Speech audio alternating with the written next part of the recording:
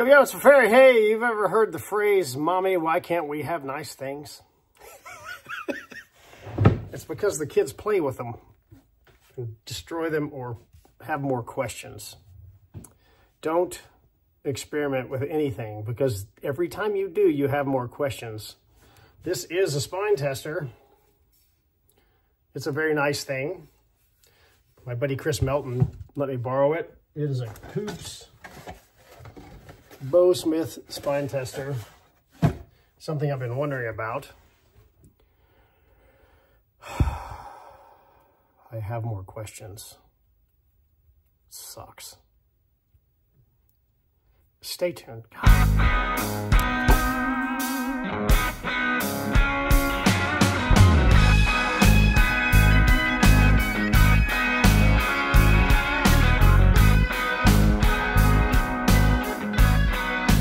Okay, so I've been wanting to play around with the spine tester. I still can't get past bare shaft, nock tuning, and pushing your arrows with your launcher as the ultimate arrow build strategy. Because very simply, and then I'll get to the point here, a 60, a 70 pound bow that IBOs at 300 is not a the same pusher as a 70 pound bow that IBOs a 340 with aggressive cams. A solo cam 70 pounder does not push as hard as one that has super aggressive cams and a short brace height. So the pusher is pushing the same arrow on two different bows at a different rate of shove. Don't have anything more technical to say that. So I've been trying to figure that out because we have the Ranch Fairy test kits. Here's a picture of the thumbnail for that video.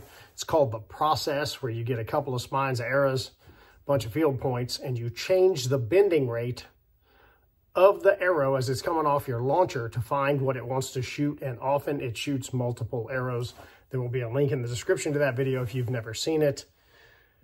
And then Chris brings me a spine tester. and I've always wondered if a full-length arrow put through the spine tester and one cut off in the spine tester and then one with a nock and an insert put in the spine tester are the same spine. And that's what I checked here. So I'll show you the results. I had a full length arrow and check the spine on it. So here's the clip of that. Okay, this is a full length 250 spine Sirius Supernova. And it is spining out right around 252. I'm gonna turn it like half a turn, 2.49. There we go. On the saw, 28 and a half. And I'm gonna cut the full length shaft off 28 and a half just to see what happens. All right, the full length arrow, Supernova, 250 spine. Cut that baby off.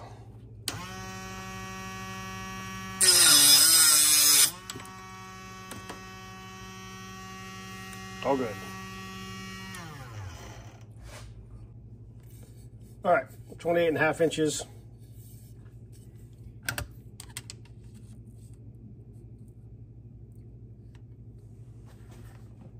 Zero the scale.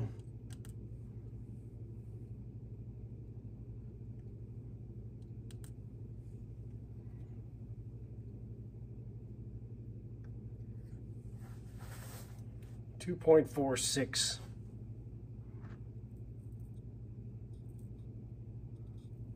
Well, it's basically the same.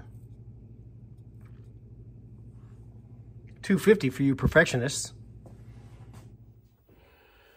Then I took an arrow with an insert. So this much of the, this is just an old school internal insert and this is a, a standard diameter uh, supernova. This is what I'm gonna shoot for tack. And um, insert's probably about that long. It's only 50 grains. And you're right, the theory is that the, that end's stiff and it should make the, make the arrow read stiff on a spine tester. Here's the results of that. This is a shaft, bare shaft, with an insert installed. And a nock just for fun. But the rollers will hit right here, so the nock won't be on the rollers. Still got to do that.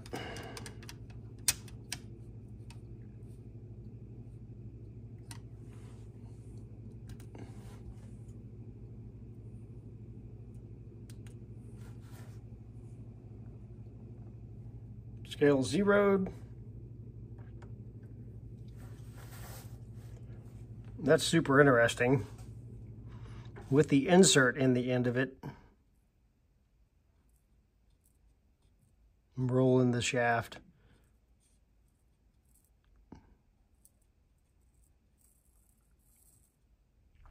Two point three three, so it's a little it's a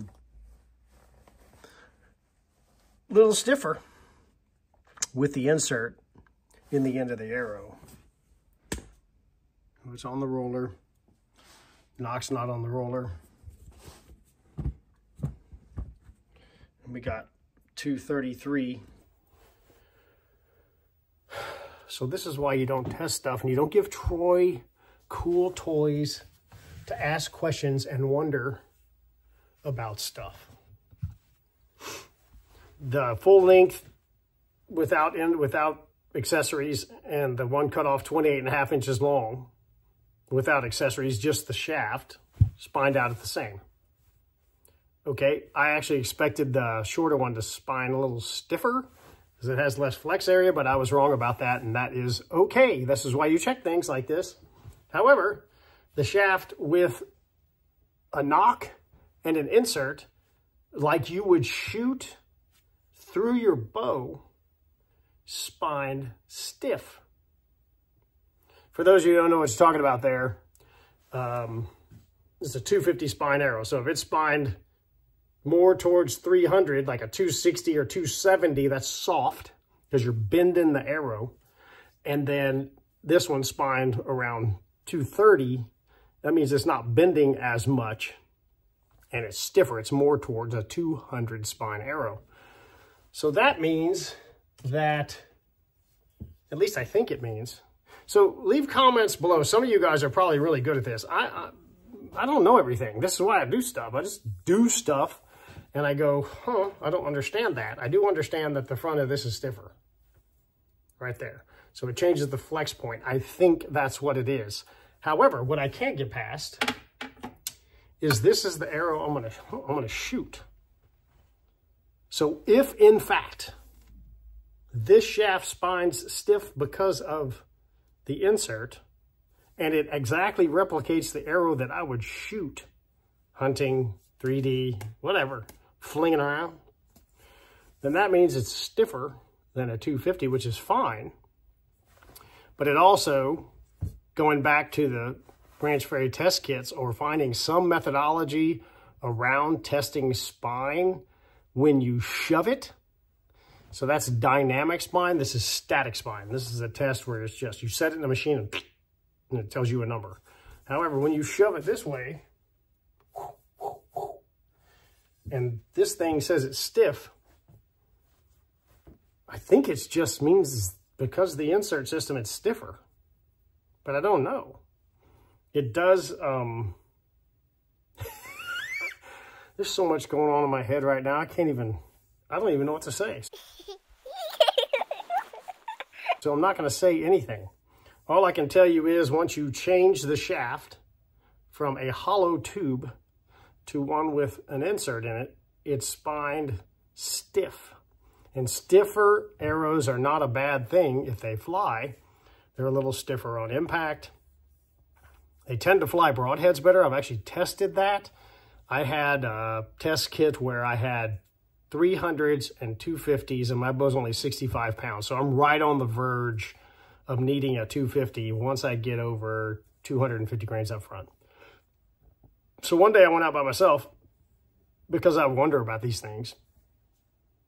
And I got a 300 spine, which is lower grains per inch, to bare shaft, perfect. with 200 grains up front and 100 grain insert. So 300 up front, and I went, Shazam! I got more FOC, and I wanted to play with that and see if the increase in FOC with a little bit of drop in mass weight of the shaft down from a 250, that's a grain or so, but it's it's something, right? You're going to get free FOC theoretically. I had fletched arrows when I did this test. I got the bow to shoot a 300 bare shafts, you know, six or seven yards. And I grabbed a fletched arrow and put a broadhead on it. I put on the Ranch Fairy single bevel. And about I get when I'm shooting broadheads with fletched arrows, I get back at 30 or 40 because it shows more variability. So if you're going to do broadhead flight testing, I recommend getting back. You know, throw out the bad shots and the bad releases, and not 70, but 30 and 40 tend to show more variability from the arrow flight. And then you kind of know when you jerk one. So it is what it is. And the 300 spine arrow would shoot doot doot and then one would just drift off. It wasn't six inches, it was two but it was just like, that was a pretty good release, you know? And it would just kind of wander, and my groups were probably that big, so I'd have two like this, and one would just shoot over here. I don't know, size of a tennis ball at 30 or 40. And I was like, okay, it just didn't feel right. If you shot a bow enough, you kind of know. Like, you kind of know when that arrow should have gone. And you get two that go just right. And then you get this one that's just kind of like, nah, I'm going to go over here and freelance a little bit. And I was just about to pull my hair out because it bare shafted. But remember, I said I'm 65 pounds. I'm right on the verge. And the only re reason I know that is because of this test. I grabbed a 250. It was fletched, put the broadhead on, and they went and they shot really accurately. And when I made a mistake, they made a mistake, but they didn't make a mistake just freelancing or deciding to, you know, do their own thing and have their own personality. So back to this spine test thing, it appears, and I'm going to keep digging into this a little bit deeper, that when you add the components, the spine goes out the window. It appears to go stiff. This is one test. This is not the gospel.